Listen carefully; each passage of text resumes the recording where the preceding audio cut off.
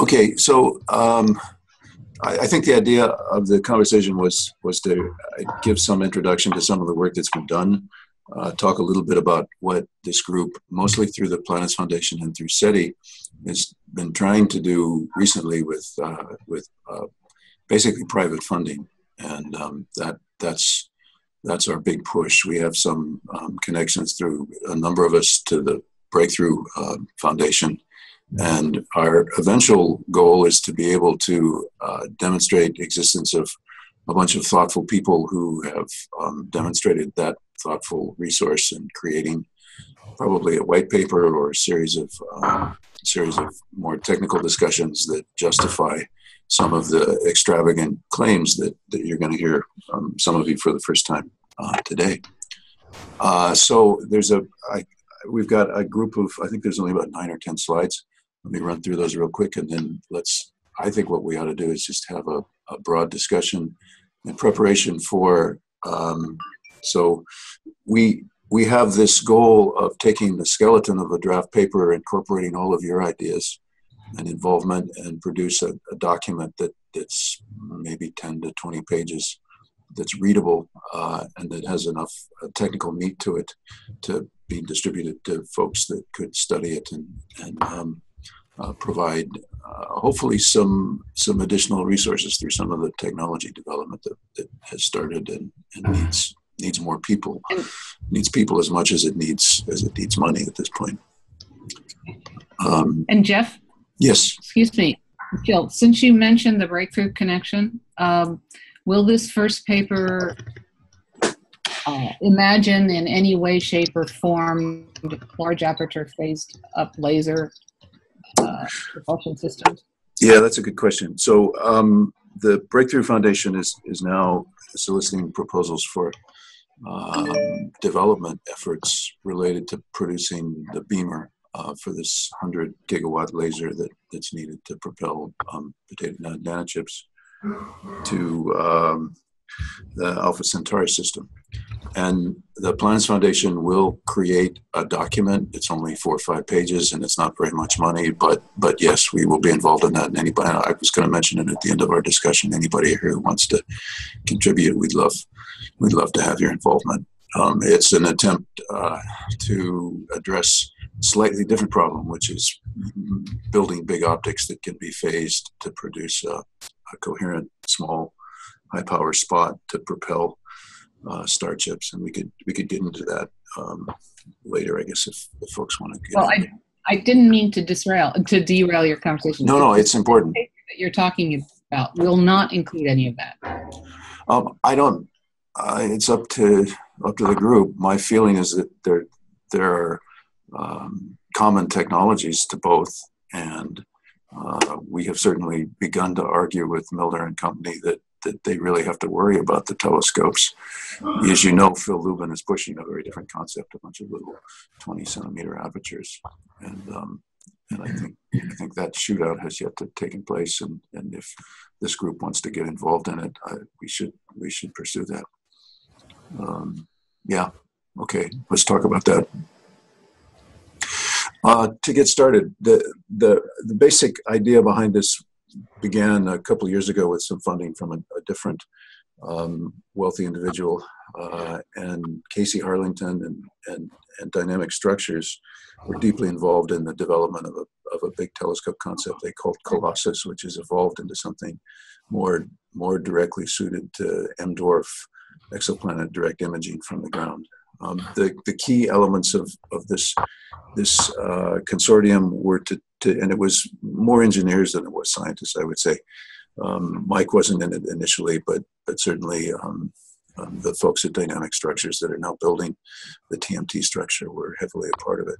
And, the, and the two key, um, I think the two key elements were maybe there were three, but one of them was to figure out how to break the scaling relations that, that really define how Keck era telescopes are costed and what, what um, what's needed is to break, and I'll show you what some of those relationships are. Um, the other is to figure out how to make a telescope which is really scalable. And scalable here means, um, in some ways, it's a synthetic beam. So, for you interferometry folks, it's a it's a it's a honest an honest hybrid between uh, an interferometer and, and, a telescope system.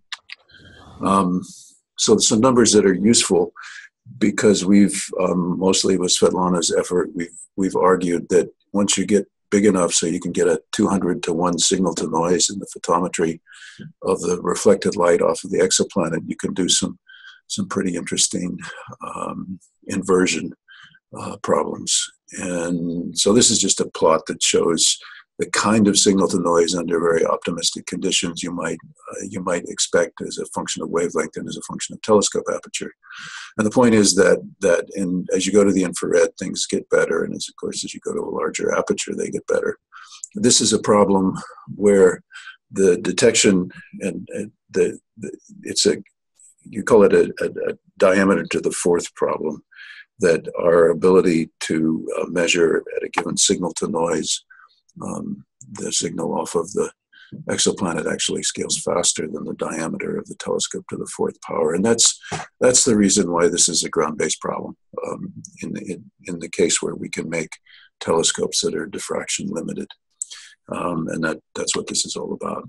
And here's an example of, of what happens when you imagine a, a an exoplanet orbiting a, a star, and we have enough resolution to separate the light the reflected light of the planet from the star, and we observe over um, over the rotational and the orbital period of the star with the signal to noise of about 200.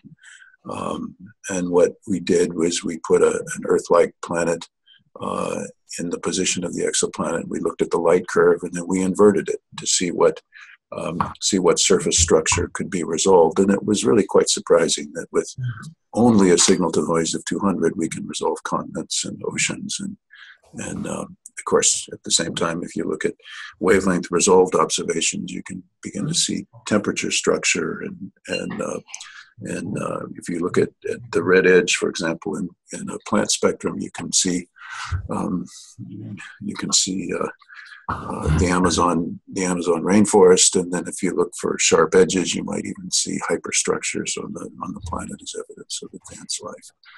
So we're we're pretty excited about the, this notion that the goal of of, of a of an exoplanet system is to get to a signal to noise that approaches uh, 100, let's say. Lots of things can be done at that level, and then and then to dedicate the, this this uh, telescope to looking at at um, um, at a few exoplanets. Here's the problem. Um, so those of us that are old enough remember the days when we talked about the overwhelmingly large 100 meter telescope. Millions of dollars went into estimating how much that costs. And, and so the, the graph here shows um, the expected cost of these telescopes versus their aperture. And there's some amazing things on this graph. For example, um, the cost estimates from Keck up to the OWL uh, scaled with the area of the telescope which, if you think about it, is amazingly optimistic, right? That it's just the area of the telescope that, that determines the cost. The cost per um, collecting area is an invariant. And part of the reason for that is these are all Keck era telescopes. In some ways, they're all, except for GMT, but they're, they're that's even more surprising that it falls on the same curve. That um, you can estimate the cost of the telescope from the from the moving mass is the other the other interesting feature here. So the mass of the telescope scales with the area, the collecting area, and then the total cost scales with the moving mass. And this is the problem that we fight if we want to talk about having a, one of the problems we fight if we talk about having a telescope which, which is um, uh, going to do exoplanet detection. And as you know, the exoplanet detection direct direct uh, imaging problem really depends on resolution as much as anything. So that's a problem. Um, you could phrase it another way, which is that we, what we really have to do is we have to decrease the moving mass of the telescope. Um, and so with with the folks at Dynamic Structures over the last few years, several things have, have evolved. One of them is the idea of using a structure which is under tension, um, like a bicycle wheel, to decrease mass. And in the in the top right is this concept that we've called the ExoLife Finder, and each one of those sub apertures is is maybe five meters across. Um, each of them is a segment of an off-axis parabola, and what they do is uh, they create a single common image with uh, with a set of secondary mirrors that in the second image on the right you can see you can see where they're collected to form a Gregorian focus. So in some ways, you want to think about this telescope as just a, a, a, great big parabola that's segmented into, in this case, say 25 five meter segments.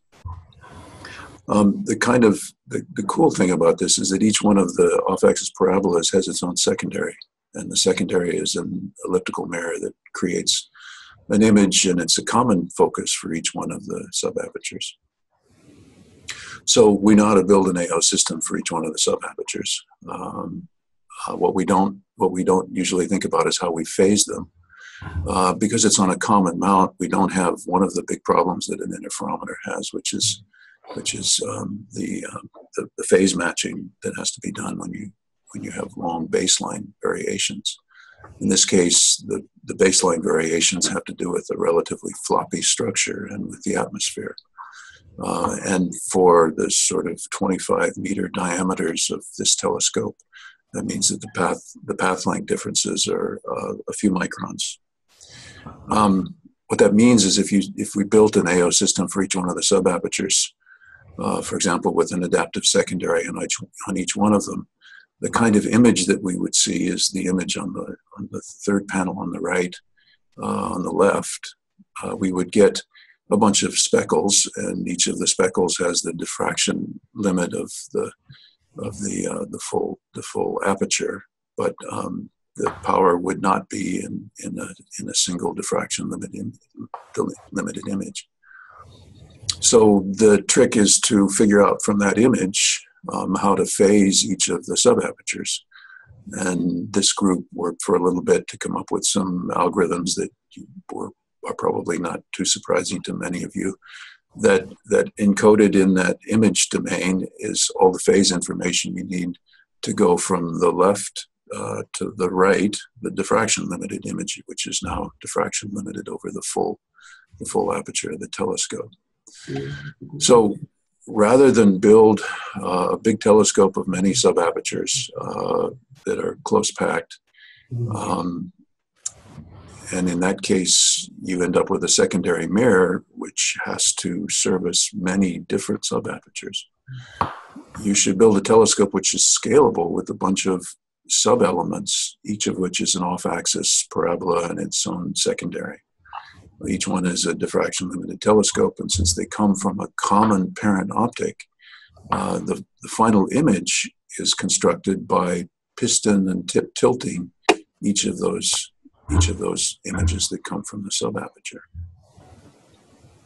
So with with the help of dynamic structures, um, this group went off and, and looked at the cost of, of building telescopes this way. Um, notice there's some disadvantages. One is that this system is is very optically fast. It has a very short focal length compared to its diameter, which means it has a small field of view. This is this is a telescope with a few arc seconds field of view. It's not going to be used for looking at, at clusters of galaxies um, or extended objects. It's going to be really dedicated to exoplanets. Um, but the other, the other interesting feature is that the telescope is, rather than build a telescope, which is a fairly rigid, stiff structure, which means it has a lot of mass, build a telescope which is floppy, maybe even more floppy than the atmosphere, and you and you phase things not by keeping the mirrors rigid primary mirrors but by using those independent secondary mirrors and each of the secondaries is pretty tiny. They're only a few centimeters across. So so that means that you've you've not you've not created a stiff heavy structure and then and then uh, had to deal with the atmosphere but you started from the outset to build something which was only as stiff as it needed to be.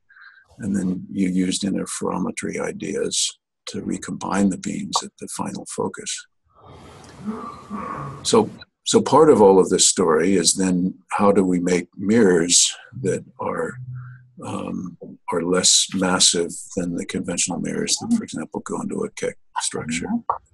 And that was that was the last piece of technology and what in what this group did, which was to which was to use. So there there's a Lyon group um, which has developed uh, what they call a TER polymer that has a energy density that's that's maybe hundred times more and uh, energy density is larger than current electroactive polymers. And it's possible to now, if we are talking about active timescales rather than adaptive timescales, build mirrors that are basically window glass uh, with a 3D printed structure on the back of them. Um, and then a reaction surface, which is another piece of window glass. The window glass is itself roughly in the shape of an off axis parabola. And then use the fact that, that this is a telescope that will always have a bright star in its field of view, right? This is looking at exoplanets.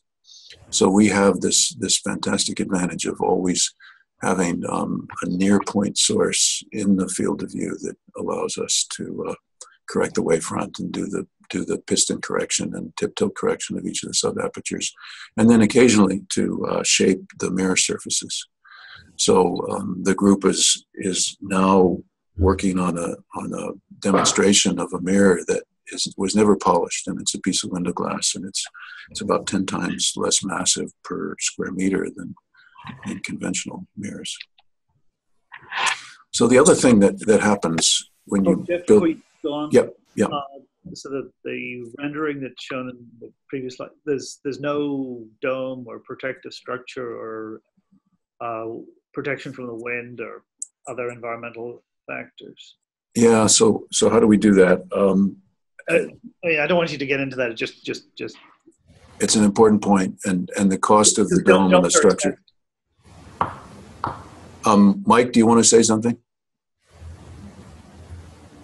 Yeah, I think there's a few different um, options for, for covering it. I mean, um, you know, we can build uh, enclosures basically on the on the ring with uh, small enclosures around each of the the major uh, primary mirrors, and um, uh, you know, I, I think there's there's definitely options uh, that are more out of the uh, box, like lowering the whole structure into the ground and having some ground-based covers that just cover the ring.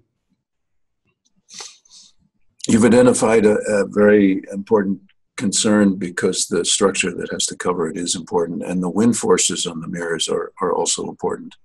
And so the need to have some kind of a, a wind fence or uh, wind wind protection is is probably also it- it's certainly something that we have to look at in more detail than we have. thanks.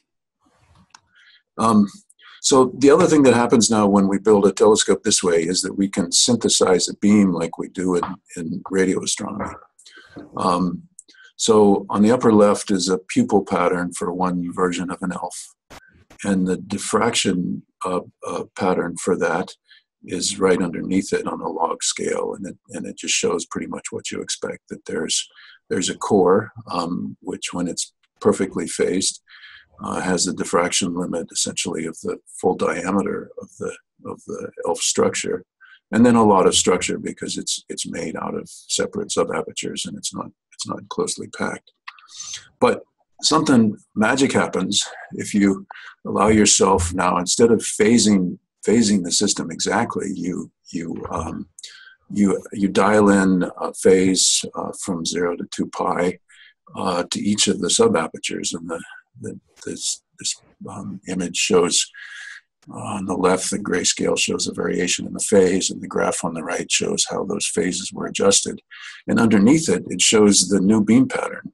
So what what we can do is we can construct a dark spot and we have lots of degrees of freedom because we have n mirrors or 25 mirrors i think in this. And and as those mirror phases are adjusted we can create uh, a beam that has has a hole in it um, and of course, that hole can be moved around by adjusting the phases. And existence of an exoplanet in that hole um, is, is something that's a lot easier to find uh, by adjusting that diffraction pattern. So we can create, uh, we can we can personalize the diffraction pattern of the telescope using basically the same the same features in its construction, which is which is that it is a, a basically a radio telescope in, in the way that we adjust phases.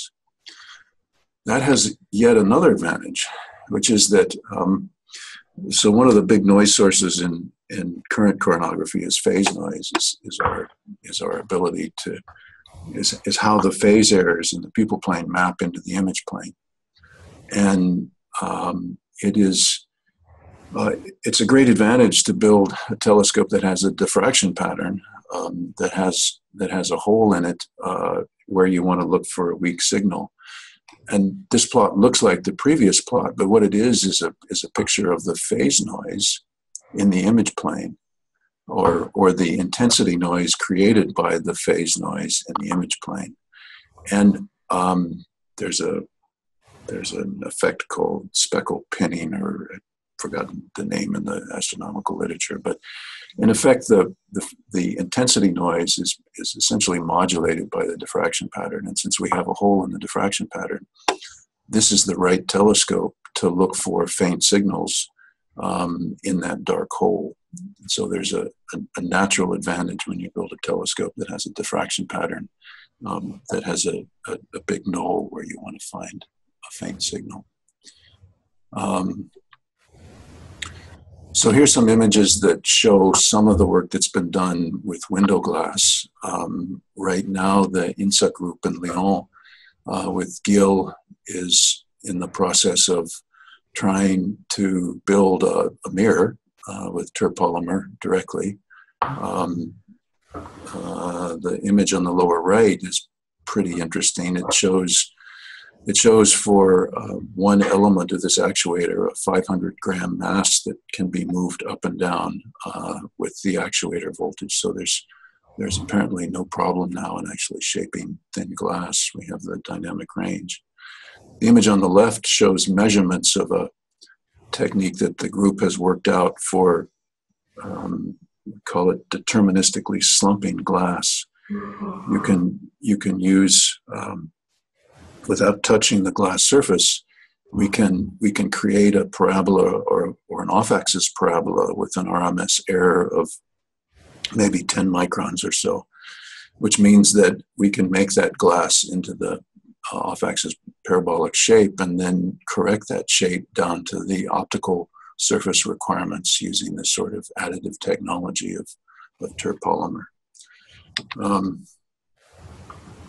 and finally, this is Kevin's movie that illustrates the kind of telescope that we, we think we could build uh, for something like $50 million um, and dedicate it to uh, looking at exoplanets uh, with sufficient aperture for doing uh, even direct imaging and, and, rotational inversion on a, on a system like uh, PROX-B. So those are all the slides. Um, I, I, I think that it'd be great to enlarge the discussion now, um, kind of along the lines of where James started. What are your thoughts? Uh, the simulations are interesting. Uh, what sort of wavefront errors and what what power spectra of errors, spatial and temporal, did, did you include in that? So in the phase errors here, this was just a, a, a random phase error that was uh, consistent with photon noise for a star that was something like uh, like Prox-B in a bandpass that was was broad. Um, there's a, as you know, there's a lot of detail that, that goes into that that we want to do more work with. Maud was going to, um, Maud, you've done some more simulations beyond this, I think. And, and I think there's a fair amount of work to do to, to make more convincing and realistic simulations. This was just a, uh, a random phase error on the pupil consistent with the photon, the photon noise. Um, uh-huh. And, and that was all. Yeah, just uh, to add something when you didn't maybe uh, well what the advantage of the of the float glass is that it's smoother as the compared to the regularly polished telescope and lighter but the smoother is a very big advantage because then the small scale that are not corrected by the adaptive optics tend to limit uh, put some some floor on your achievable contrast. I think it needs to be properly simulated with the right power from this float glass, and this has still not has been done, but uh, it is. Uh, uh, we know that it is much better than regular polished glass. Yeah, I, that that's of course. So one of the crazy things that we're suggesting is that we make mirrors with, without ever grinding the glass.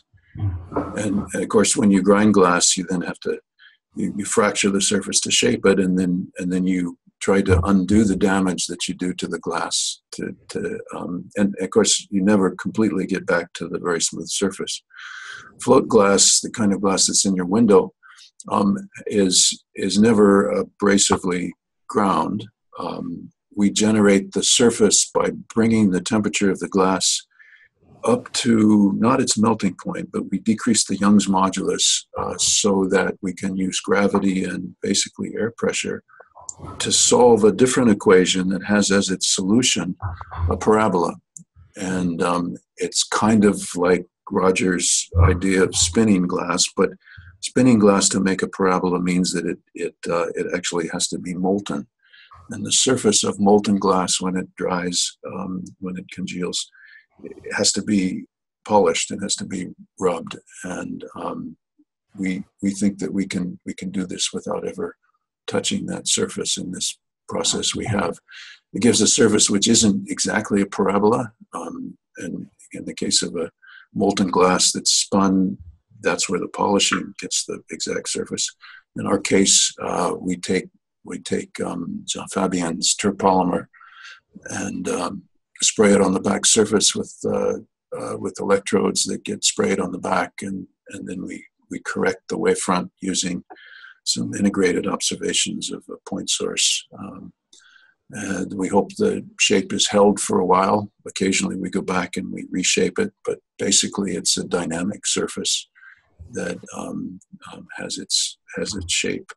Uh, defined initially by the slumping process and finally by um, an active an active system. So, uh, what you know, the optics in th- in instruments like Sphere and GPI uh, have UV lithography. Uh, I guess I should use the word polished, UV lithography quality surface finishes with RMS errors measured in in high frequency wave numbers of a few a few nanometers. How how smooth is this process? Well, so so your your window that that's probably in your office um, has has an has a so the, it's polished with a um, it's kind of a I, think often glass is drawn over a, a, roller as it's essentially molten, and then there's a there's a spray of of uh, high temperature flame that that um, fixes that surface. The surface roughness is uh, uh, about a factor of five to ten better than the sort of um, abrasive uh, super polish that that we we sometimes get. Um, so a really a really nicely polished uh, mirror could have sort of a, a, a arm, RMS roughness and high, high, spatial frequencies of say a nanometer. And we've measured on just go down to the hard, hardware store and get a piece of glass, and it's at least a factor of three. And for scattered light, that goes as the square of the roughness. So it's sort of an order of magnitude better. Um, and and then the magic is to figure out how to put uh, the density of of uh, terpolymer on the back to fix the the the other areas. Of course, the window glasses on scales of a few centimeters isn't very flat at all. So we Can have I to comment? say again. Can I comment on this? Yeah, please. Okay, there is work from uh, Olivier Lardière, Antoine Labeyrie, and uh, Luc Arnold, Observatoire de Haute-Provence, about 20 years ago, and they actually made uh, two meter uh, mirrors out of uh, window glass for the what at the time was called the Bull telescope, which is a spherical telescope that should have been used for interferometry. When Antoine Labeyrie had this idea of building a 27 aperture interferometer out of uh, very cheap telescopes or inexpensive telescopes. And what they used was actually one centimeter thick window, uh, window glass. And we had a working prototype with uh, um, actuators actually with they were just electrical motors. They were pushing on the glass, just pushing, and uh, and that worked. You know, there was some RMS error that you could correct post. Uh, you know, with if you wanted with uh, higher order adaptive optics, but we managed to make the telescope out of that, basically. Yeah, I'm I'm I'm sold on. I I think we're all I, great ideas uh, come and go and come again, and I think that that's you know the difference is now the technologies for being able to essentially build a printed circuit on a macroscopic piece of glass are pretty good right? So we can now build an array of, of leads and, and actuators on this that are themselves very low mass and with, with sufficient um, force properties and force sensor properties to, to be able to take that prototype from Labeyrie's of 20 years ago and, and, and do even better. Um, I, I, I wasn't aware of that project. I'd, I'd love to I'd love to read about it if there's some place where we could where we could see it. Was it published? I think so. At least in SPIE, some SPIE proceeding, there should be something. I can make some uh, some inquiries to and, and find out. Yeah, perfect. Yeah, yeah. I, I I think the difference now from from back then is that we we do know that there's a, a lot of work that's been done with with additive technology and 3D printing, and that's I think that's the secret that makes um, these mirrors now something pretty easily done. And and can I ask also, a, another question about the the simulations? Are those sure.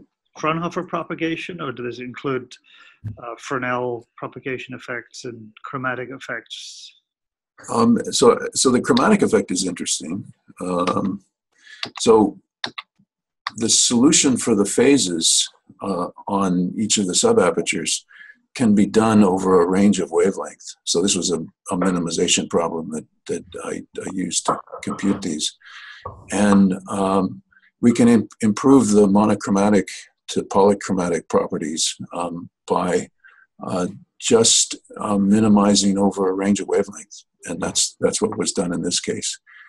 Right, at, at a single wavelength, we can make a very, very deep hole um, uh, by minimizing over a range of wavelengths. The hole isn't quite as deep, uh, but it has but it has good um, polychromatic properties. This this was all uh, this was not Fresnel, no, um, but but it should be, and and I think I think there's a lot of room to to do a better job and a more realistic job in the simulations. It's expensive though. Yeah. um, I, I, and I don't. I, there must be some good software tools for for, for doing that, but I, I don't know about them. What, what wavelengths are you considering and uh, what the resolution and bandpass needed for the uh, simulation that you did um, showing the how you recovered from the light curves the map of the planet? Okay, so those are good questions. Uh, Svetlana did uh, all of these calculations. Why don't, why don't you comment on it, Svet? Yeah, so here this inversion, um, basically for inversions to get the signal to noise 200 actually it works with 100 as well, reasonably well. Uh, I mean, we tried 20. With 20, signal noise 20, you see over overall shape of continents, but not so much subcontinent details. Uh, so that range between 20 and 200 uh, uh, would be fine uh, to start with and see what we can achieve. But um, when we say to achieve that, sure, we have to resolve planet from a star and we have to reduce the contrast uh, the, of the scattered light from a star, so to, to get that signal to noise. So first thing is to resolve planets from the star, collect as many point, uh, as, as many possible photons, and then uh, once you have this light curve, you apply basically pretty standard inversion technique. I use that one for imaging of star spots on on um, on stars. So that was uh, Doppler imaging uh, and light curve imaging. In my past, and basically the same code to just change the geometry of the system.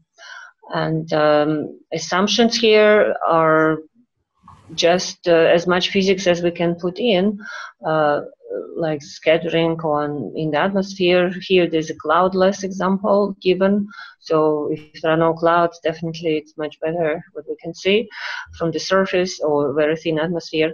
But uh, scattering in the atmosphere and um, uh, clouds are also included in other simulations.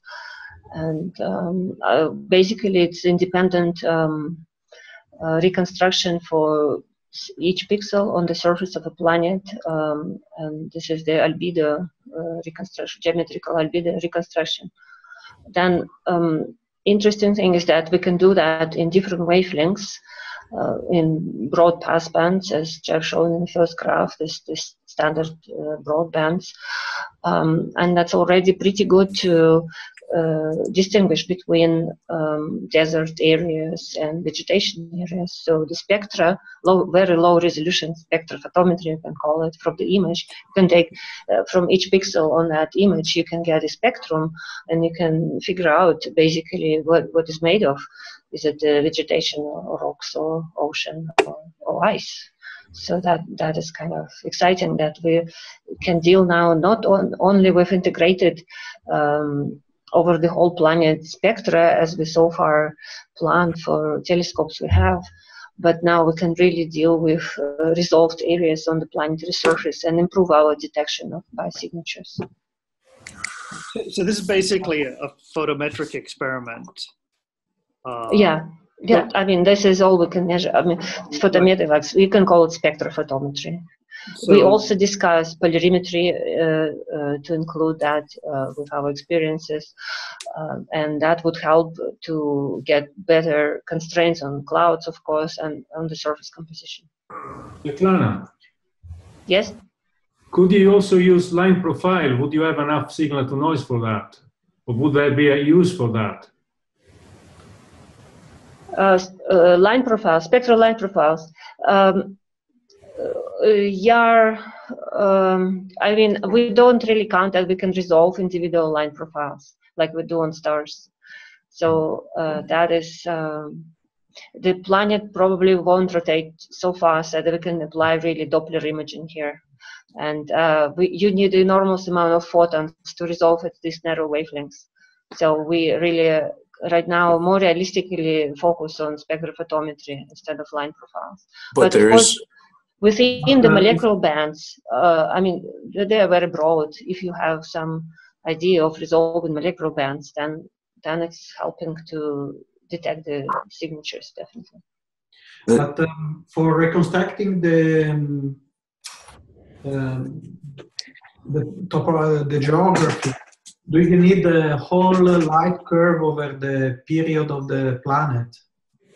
well, this is the best case, yes, if you have it, but we also did um, uh, seasonal inversion. So on Earth also we have seasons. So we've taken, say, 12 months uh, images of albedo of Earth, realistic uh, measurements, and uh, vary them. And I did three months inversions, and they they show less detail than than we see here, but it's still very informative. We still see continents and some details on them well, I'm now editing the. Say again. Uh, if there are some variable uh, effects like clouds, uh, this uh, won't disrupt uh, your light curve.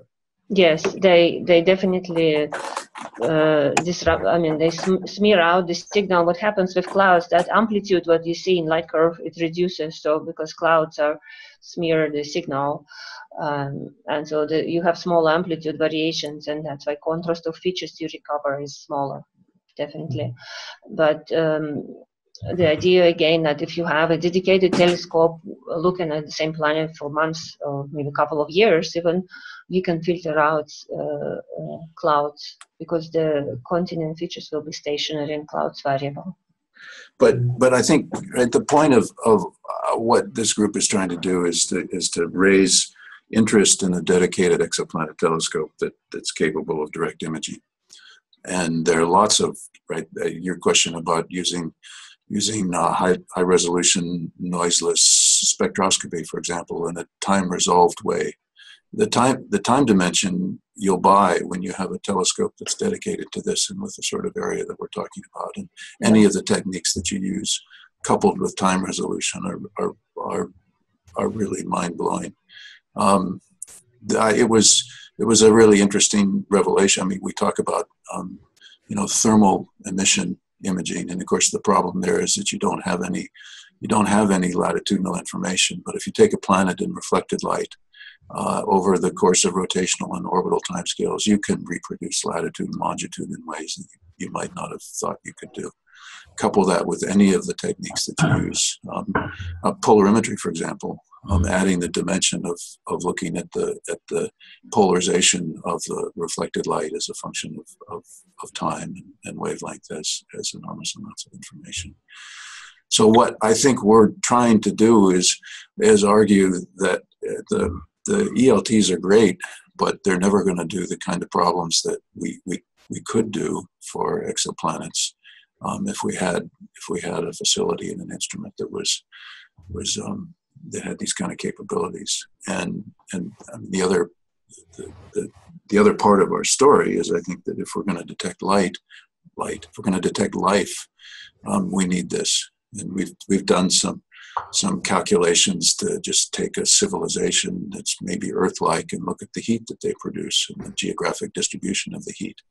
And that's a great biomarker um, and it's the kind of it's the kind of signal that, that is eminently detectable from from an ELF-like telescope.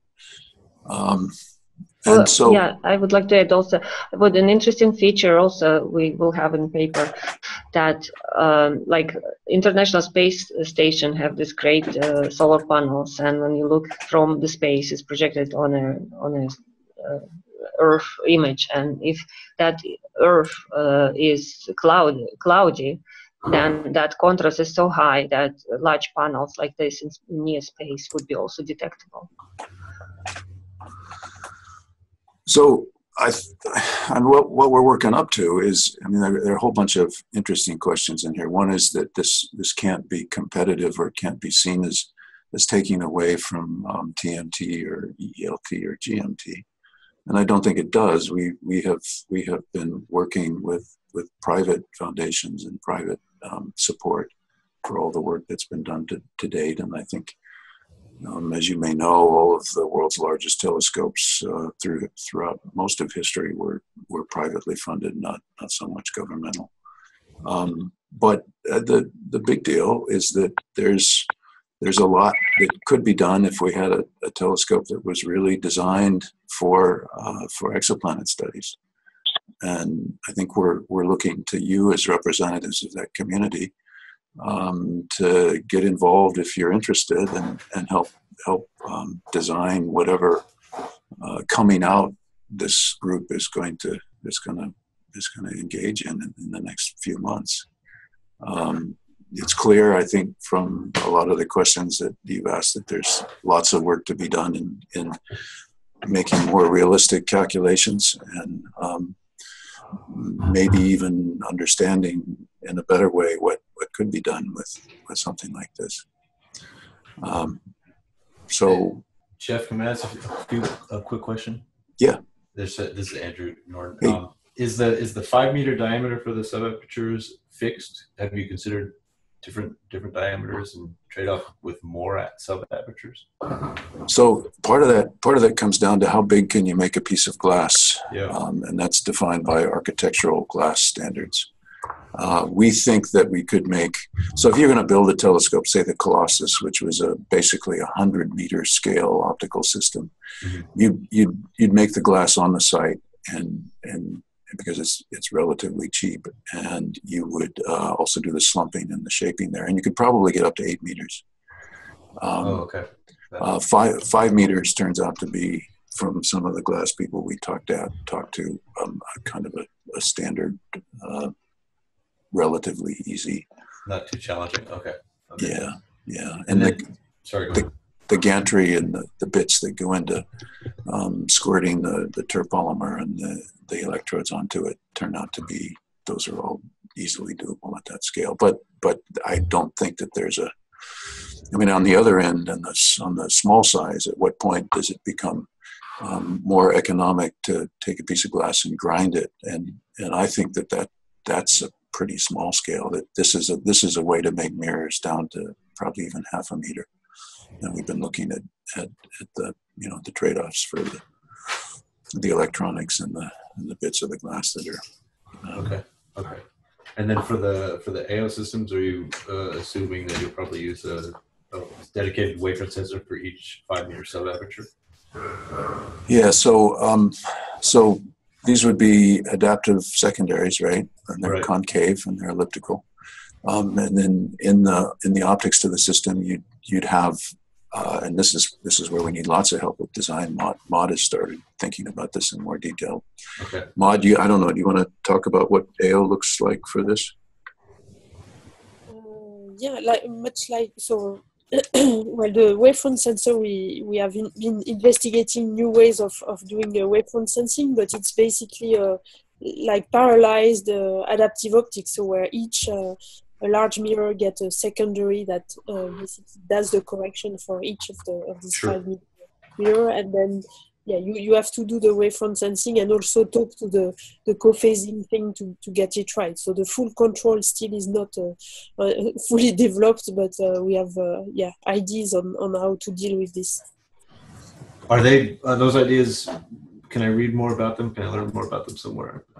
Uh, well, at least in Lyon, I think it, it's not frozen, so any new idea and, and test uh, could, could be welcome. So we're looking at more interferometric uh, way of uh, uh, measuring the wavefront using a Mach-Zehnder uh, wavefront sensor, which is more robust for uh, when you have uh, discontinuities like li- large spiders or these things, even on uh, ELT-like telescope. But this is uh, very well suited and, and very accurate with low uh, noise propagation since it's measuring the phase which is the sign of the of the phase rather than you have to, to reverse the, the problem so less noise propagation very small sca- spatial scale high accuracy uh, but then uh, yeah all parallelized for each uh, uh, five meter diameter uh, mirrors Okay. Thanks, Mike. Thanks, Jeff.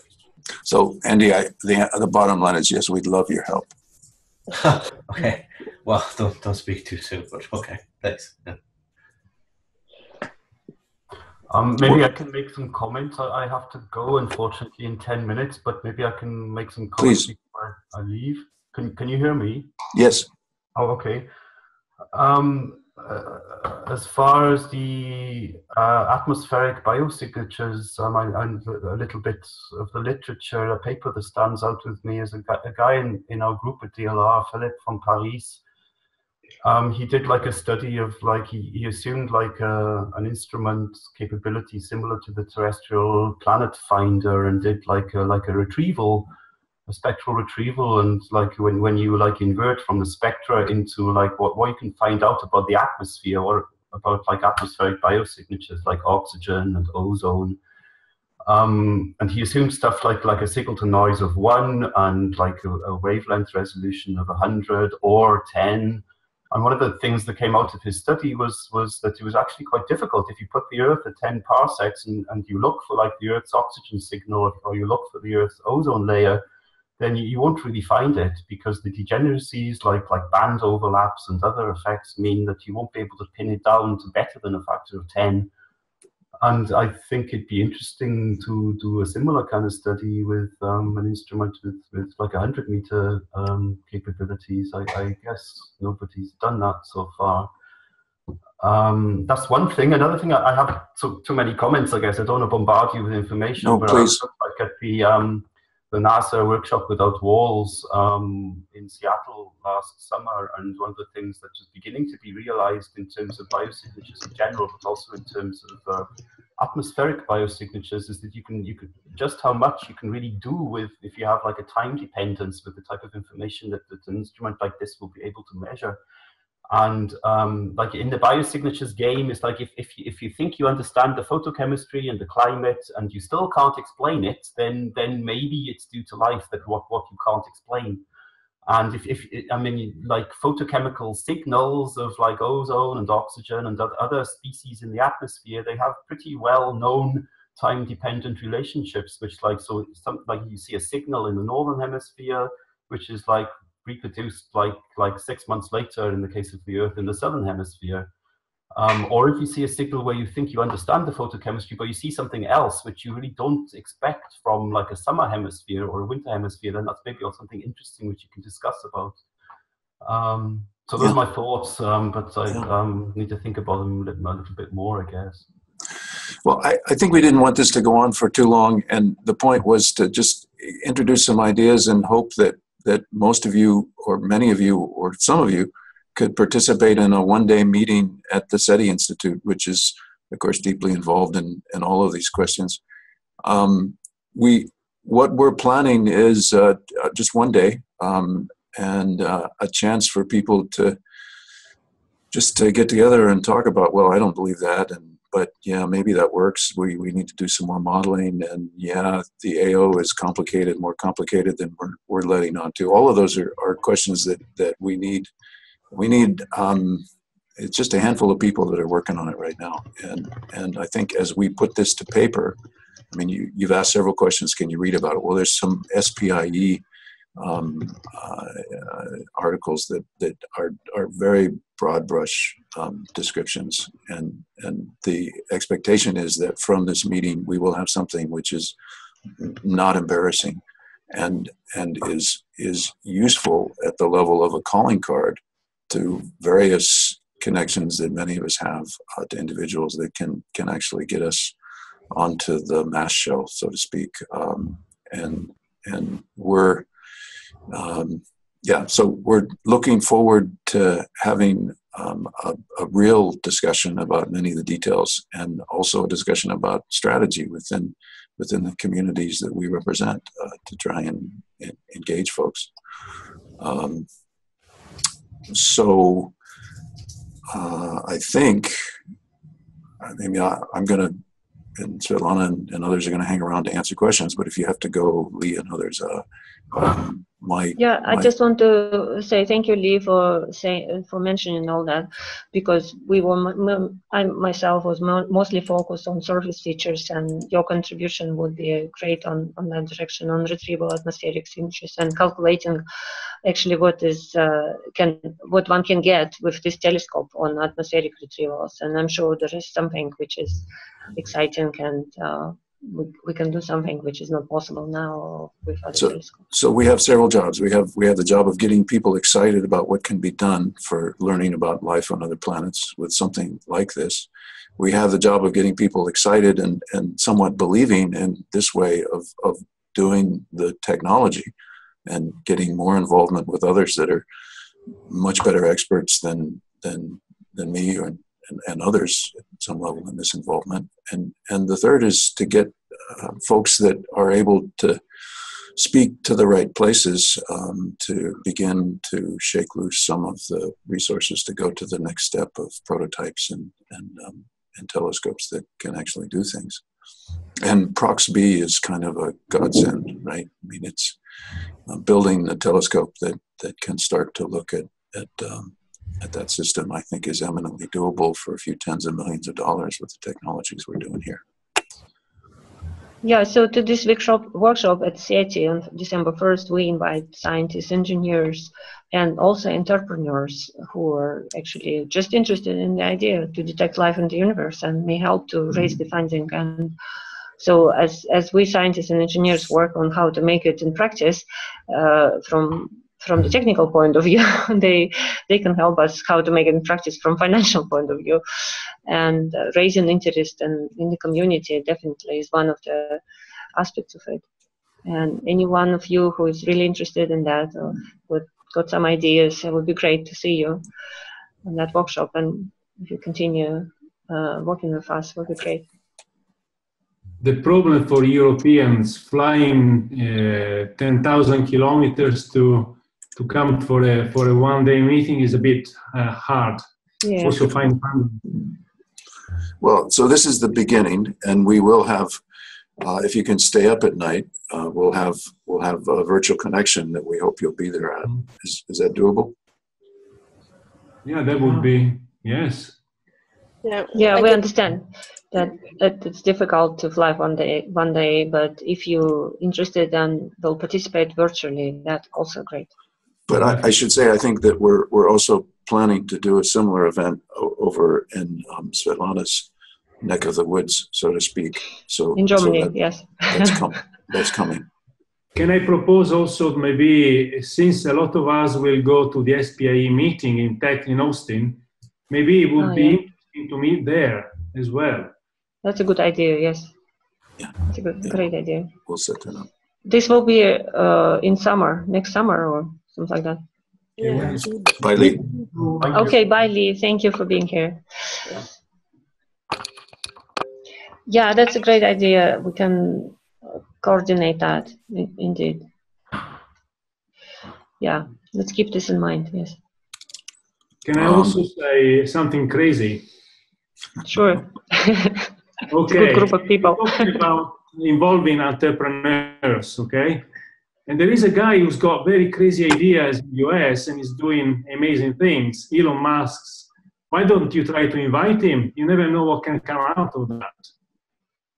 I think Kevin can comment on that. Well, Jill is probably a personal friend of Jill's, right? Jill, you know Elon, don't you?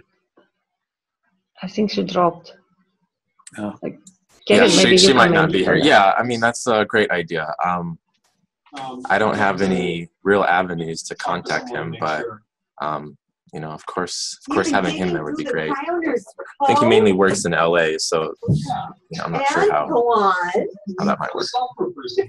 Well, the, yeah, is um is Pete Klupar here? He's probably a personal personal Bre- friend of. Elon. Somebody from Breakthrough is there. what you're doing in your in your Delta Tau.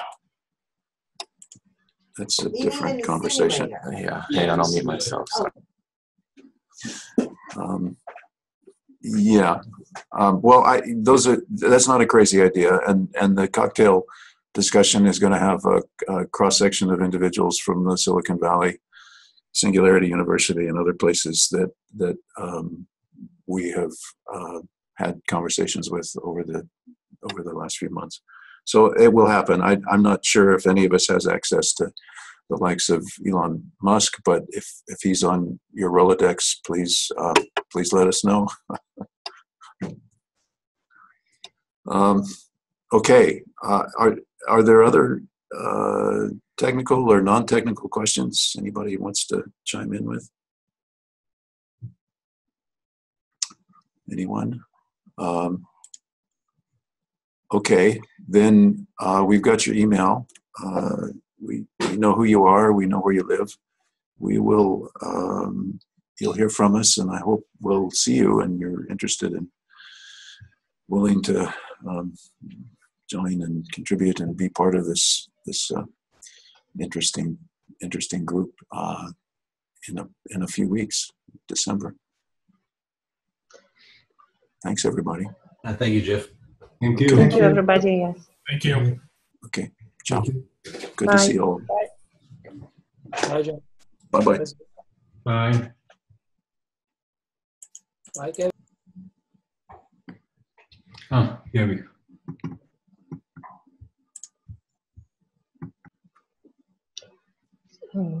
Somebody is from Breakthrough. Is it Pete there? I, I'm not sure.